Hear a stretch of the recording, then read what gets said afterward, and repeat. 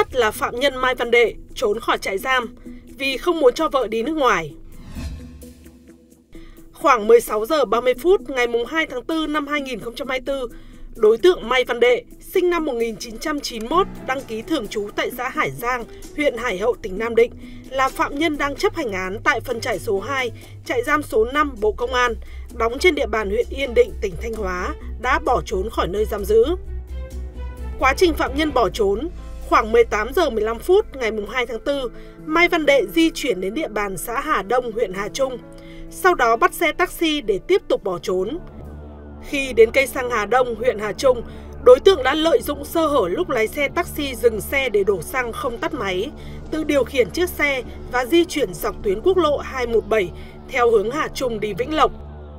Khi di chuyển đến khu vực giáp danh giữa xã Hà Đông và xã Hà Lĩnh, đối tượng bỏ lại xe ở ven đường và tẩu thoát. Ngay sau khi tiếp nhận thông tin về phạm nhân Mai Văn Đệ trốn trại, Giám đốc Công an tỉnh Thanh Hóa đã chỉ đạo các phòng nghiệp vụ, Công an huyện Yên Định, Hà Trung và các đơn vị giáp danh huy động tối đa lực lượng, phương tiện, phối hợp với chính quyền địa phương và các lực lượng tại chỗ nhanh chóng triển khai các tổ tuần tra và chốt chặn tại các địa bàn và tuyến giao thông trọng điểm xung quanh khu vực nghi đối tượng đang lẩn trốn tại khu vực đồi núi rộng hơn 500 hecta thuộc địa bàn xã Hà Lĩnh, giáp danh với các xã Hà Đông, Hà Tân, huyện Hà Trung, cách trại giam số 5 khoảng 50 km. Đồng thời, lực lượng công an đã thông báo rộng rãi trên các phương tiện thông tin đại chúng và mạng xã hội Zalo, Facebook để người dân biết, cảnh giác, tố cáo và hỗ trợ lực lượng chức năng truy bắt đối tượng. Với quyết tâm truy bắt bằng được đối tượng trốn trại, đến 16 giờ 15 phút ngày 3 tháng 4 năm 2024, Công an tỉnh Thanh Hóa phối hợp với trại giam số 5 Bộ Công an đã khống chế bắt giữ Mai Văn Đệ khi đối tượng đang lẩn trốn tại khu vực quả đồi thuộc địa bàn xã Hà Đông. Hiện đối tượng đã được di lý về cơ quan công an để tiếp tục điều tra xử lý. Phạm Nhân Đệ bị phạt tù giam vì tội đánh bạc, thời gian chấp hành án là 24 tháng. Đệ bị bắt vào tháng 2 năm 2023 chấp hành án tại trại giam số 5 Bộ Công an vào tháng 6 năm 2023 và bị quản chế tại phân trại số 2. Tại cơ quan công an, bước đầu Mai Văn Đệ cho biết việc trốn khỏi trại giam là do không muốn cho vợ đi nước ngoài. Trong khi đó, Đệ không liên lạc được với vợ ở ngoài nên đã nảy sinh ý định trốn trại. Sau khi bị bắt giữ, phạm nhân Mai Văn Đệ tỏ ra ân hận, khóc lóc khi đã thực hiện hành vi trên. Trước đó, theo lời kể của tài xế Nguyễn Văn Mạnh, Khoảng 17 giờ 50 phút ngày 2 tháng 4, anh đang đi thể dục ở gần nhà thì vợ gọi về chở khách. Lúc đó anh Mạnh không biết người khách này là phạm nhân trốn trại nên đã nhận lời trở ra quốc lộ 1 để đón xe khách đi Hà Nội. Nam thanh niên đó nói với tôi là đang làm công nhân công trình xây dựng ở xã Hà Đông. Do nhà có việc đột xuất nên thuê tôi trở ra quốc lộ 1 để đón xe về Hà Nội. Tôi không biết đó là phạm nhân trốn trại đang bị công an truy tìm nên đã nhận lời chở khách. Anh Mạnh cho biết thêm, khi đến cây xăng ở xã Hà Đông, huyện Hà Trung, anh Mạnh vào đổ xăng thì được nhân viên cây xăng thông báo nam thanh niên ngồi trên xe giống phạm nhân trốn chạy giam mà công an vừa công bố hình ảnh. Sau đó, anh Mạnh phối hợp với nhân viên cây xăng giả vờ đi vệ sinh để đợi công an đến bắt phạm nhân trốn trại. Tuy nhiên, khoảng 5 phút sau, khi công an chưa đến thì đệ liền lên ghế lái, cướp taxi rời khỏi cây xăng.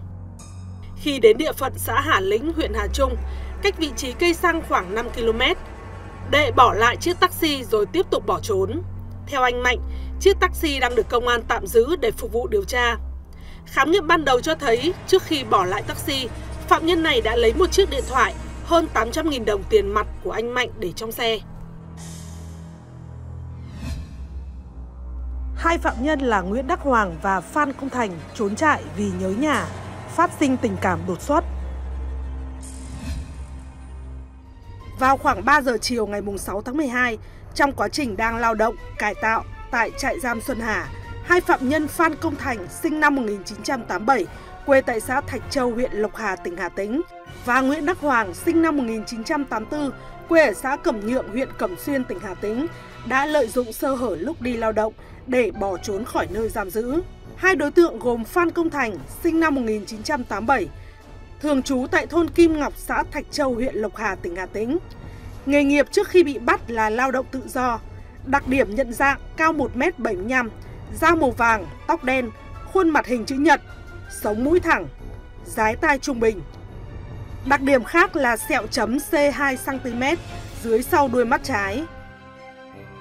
Đối tượng đang phải chấp hành hình phạt tù hai bản án của Tòa án Nhân dân tỉnh Hà Tĩnh và Tòa án Nhân dân thành phố Phổ Yên tỉnh Thái Nguyên cùng về tội lừa đảo chiếm đoạt tài sản với tổng hợp hình phạt là 19 năm tù giam. Tính đến thời điểm bỏ trốn, phạm nhân Phan Công Thành đã chấp hành án được 2 năm 7 tháng 12 ngày. Phạm nhân hiện đang chấp hành phạt tù tại đội 28 phân trại số 2, trại giam Xuân Hà, trốn khỏi nơi giam giữ vào ngày 6 tháng 12 năm 2023. Phạm nhân thứ hai là Nguyễn Đắc Hoàng, sinh năm 1984, thường trú tại thôn Hải Bắc, xã Cẩm Nhượng, huyện Cẩm Xuyên, tỉnh Hà Tĩnh. Nghề nghiệp trước khi bị bắt là lao động tự do. Phạm nhân đang chấp hành hình phạt 20 năm tù giam vì tội mua bán trái phép chất ma túy theo bản án số 117 ngày 10 tháng 11 năm 2017 của Tòa án Nhân dân tỉnh Nghệ An. Tính đến thời điểm bỏ trốn, phạm nhân Nguyễn Đắc Hoàng đã chấp hành được 6 năm 6 tháng 7 ngày. Đặc điểm nhận dạng cao 1m70, da màu vàng, tóc đen, khuôn mặt dài, sống mũi thẳng. Đặc điểm khác là nốt ruồi C 0,5cm dưới đuôi mắt trái. Lệnh báo động toàn trại đã được phát đi. Vụ việc được nhanh chóng báo cáo lên Giám đốc Công an tỉnh Hà Tĩnh. Chỉ vài giây sau đó, tất cả các cửa ngõ ra vào tỉnh, các đường biên giới giáp danh đã được phong tỏa. Một chuyên án được thành lập với hàng nghìn cán bộ cảnh sát hướng tới một mục tiêu là truy bắt bằng được hai phạm nhân vượt ngục trong thời gian ngắn nhất. Đặc điểm nhận dạng khi trốn là các đối tượng mặc áo màu đen đi ủng, một người mặt vuông lông mày rậm, phạm nhân còn lại mặt nhọn, môi thâm. Cục Cảnh sát Quản lý trại giam, cơ sở giáo dục bắt buộc, trường giáo dưỡng cũng đã phối hợp với Công an tỉnh Hà Tĩnh tổ chức truy bắt. Ngay sau đó, chính quyền xã Cẩm Hà đã xác minh và huy động toàn bộ lực lượng công an, dân quân phối hợp với công an các xã, lực lượng cảnh sát giao thông, cảnh sát cơ động vào cuộc truy lùng tại rừng bần. Khu vực rừng ngập mặn này có diện tích khoảng 7 hecta, trong đó cây rừng 3 đến 4 hecta trồng dày đặc, khiến việc truy bắt gặp không ít khó khăn. Hiện có khoảng gần 200 người là công an, cảnh sát, dân quân tham gia truy bắt. Lực lượng chức năng huy động phương tiện, thiết bị, chó nghiệp vụ đến hiện trường. Vị trí này gần cầu Cửa Nhượng, xã Cẩm Nhượng, quê của một trong hai phạm nhân trốn trại. Vị lãnh đạo này thông tin. Liên quan đến vụ việc này, Đại tá Nguyễn Hồng Phong, Giám đốc Công an tỉnh Hà Tĩnh cho biết, lực lượng chức năng Công an tỉnh đang tích cực phối hợp với Cục Cảnh sát Quản lý trại giam, cơ sở giáo dục bắt buộc, trường giáo dưỡng Bộ Công an để truy bắt. Để hỗ trợ và phối hợp với Cục Cảnh sát Quản lý trại giam, cơ sở giáo dục bắt buộc, trường giáo dưỡng Bộ Công an và trại giam Xuân Hà. Từ 13 giờ 30 phút ngày 7 tháng 12, Công an tỉnh Hà Tĩnh đã quyết định huy động hơn 2.000 cán bộ, chiến sĩ, gồm các đơn vị nghiệp vụ, lực lượng cảnh sát hình sự, cảnh sát giao thông, cảnh sát điều tra, công an các địa phương triển khai các biện pháp nghiệp vụ để truy tìm. Chiều ngày 7 tháng 12, Thượng tá Cao Ngọc Diện, giám thị trại giam Xuân Hà đã ký quyết định truy nã toàn quốc với hai phạm nhân bỏ trốn khỏi nơi giam giữ.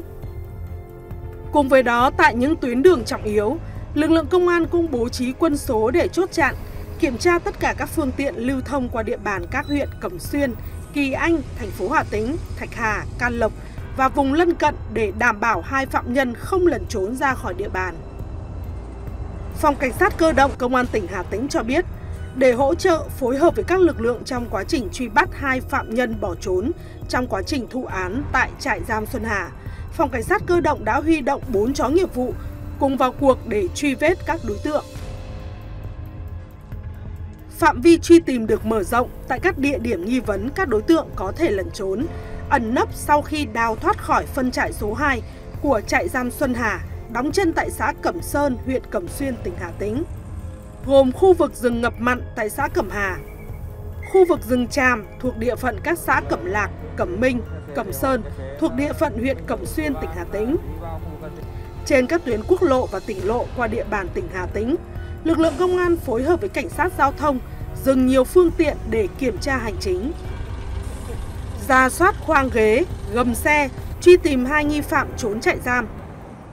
Lực lượng truy bắt cho biết, Khi thấy cảnh sát dừng xe, một số tài xế ban đầu tỏ ra khá bất ngờ. Sau khi được giải thích đang truy bắt tội phạm nguy hiểm, họ lại rất hợp tác. Tại nhà nghỉ, nhà trọ trên địa bàn tỉnh, cảnh sát khu vực cũng được lệnh kiểm tra khách cư trú. Hàng trăm cảnh sát đã tiếp cận, truy lùng, song do rừng rậm, nhiều cây nên chưa có kết quả. Hiện lực lượng chức năng đã dựng dạp tại bờ đê thôn Đông Tây Xuân, xã Cẩm Hà xuyên đêm túc trực, theo dõi biến động. Một người dân sống tại xã Cẩm Hà, huyện Cẩm Xuyên cho biết, các gia đình trong xã đã đóng cửa từ đầu giờ tối vì sợ hai kẻ vượt ngục lẻn vào nhà làm liều. Chúng tôi sẽ cảnh giác, nghe tiếng chó sủa, phát hiện tiếng động hay dấu hiệu bất thường sẽ lập tức gọi điện báo công an.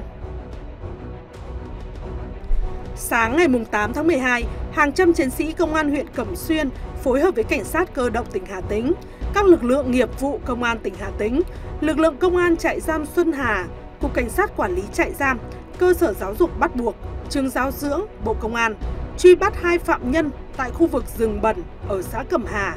Công an cũng mang theo chó nghiệp vụ để tổ chức truy tìm. Thượng tá Phan Ngọc Tố, trưởng công an huyện Cẩm Xuyên có mặt tại hiện trường cho biết, từ chiều ngày 7 tháng 12, nhận được tin báo của người dân về việc có đối tượng khả nghi lẩn trốn ở vùng đầm lầy, rừng bần, xã Cẩm Hà. Công an huyện Cẩm Xuyên đã huy động gần 200 cán bộ chiến sĩ phối hợp với phòng cảnh sát cơ động công an tỉnh, công an trại giam Xuân Hà chia thành nhiều mũi công tác, truy lùng khắp rừng bần với diện tích khoảng 8 hecta để vây bắt hai phạm nhân bỏ trốn. Rừng cây rậm rạp, xung quanh có sông suối, nên việc tìm kiếm rất khó khăn. Đến sáng nay vẫn chưa có kết quả. Công an huyện Cẩm Xuyên sẽ tiếp tục phối hợp với các lực lượng triển khai các tổ công tác để truy lùng ở những địa bàn khả nghi mà hai phạm nhân có thể lẩn trốn. Thượng tá Tố chia sẻ.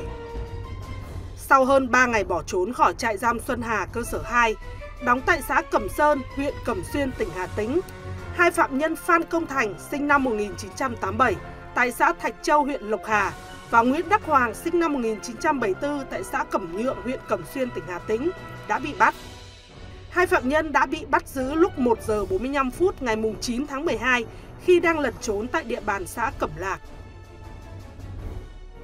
Trại giam Xuân Hà tiền thân là cơ sở giáo dục Xuân Hà, được thành lập từ năm 1996, đóng chân trên địa bàn xã Lưu Vĩnh Sơn, huyện Thạch Hà, tỉnh Hà Tĩnh. Tính đến thời điểm hiện nay, đơn vị có hai phân trại, đang quản lý, giam giữ và cải tạo trên 1.500 phạm nhân. Phạm nhân trong khi chấp hành án đã bỏ trốn khỏi trại giam. Vậy phạm nhân trốn trại như vậy sẽ bị xử lý như thế nào? Theo Điều 42 Luật Thi hành án hình sự năm 2019, khi phạm nhân bỏ trốn, trại giam, trại tạm giam, cơ quan thi hành án hình sự, công an cấp tỉnh, cấp huyện, cấp quân khu phải tổ chức truy bắt ngay, báo cáo về cơ quan quản lý thi hành án hình sự và thông báo cho viện kiểm sát có thẩm quyền. Trong thời hạn 24 giờ kể từ khi phát hiện phạm nhân bỏ trốn mà việc truy bắt không có kết quả thì phải giải quyết truy nã và tổ chức truy nã. Trường hợp phạm nhân bỏ trốn nhưng ra đầu thú thì cơ quan tiếp nhận phạm nhân đầu thú lập biên bản, xử lý theo thẩm quyền hoặc giao phạm nhân đó cho cơ quan thi hành án hình sự nơi gần nhất để xử lý theo quy định của pháp luật. Căn cứ theo Điều 386 Bộ Luật Hình sự năm 2015 quy định về tội trốn khỏi nơi giam giữ, hoặc trốn khi đang bị áp giải, hoặc bị xét xử, người nào đang bị giam giữ, tạm giam, áp giải xét xử hoặc chấp hành án phạt tù mà bỏ trốn thì bị phạt tù từ 6 tháng đến 3 năm. Đặc biệt nếu phạm tội thuộc trong hai trường hợp có tổ chức dùng vũ lực đối với người canh gác hoặc người áp giải sẽ bị phạt tù từ 3 đến 10 năm. Theo đó, phạm nhân vi phạm nội quy cơ sở giam giữ phạm nhân hoặc có hành vi vi phạm pháp luật thì tùy theo tính chất, mức độ vi phạm mà bị kỷ luật bằng một trong các hình thức khiển trách, cảnh cáo, giam tại buồng kỷ luật đến 10 ngày. Với hình thức giam tại buồng kỷ luật, phạm nhân trừ phạm nhân nữ, phạm nhân là người dưới 18 tuổi, phạm nhân là người già yếu sẽ không được gặp nhân thân và có thể bị cùm chân. Vậy phạm nhân trốn trại bất ngờ trở về nhà thì người thân có phạm tội không tố giác tội phạm hay không?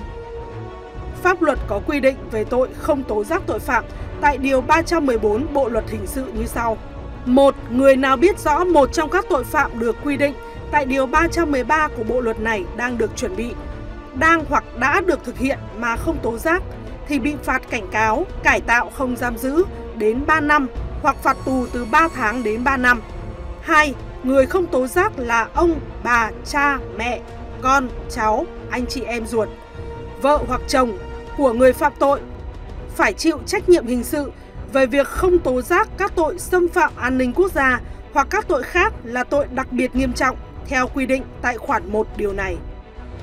Ba, người không tố giác nếu đã có hành động can ngăn người phạm tội hoặc hạn chế các tác hại của tội phạm thì có thể được miễn trách nhiệm hình sự hoặc miễn hình phạt.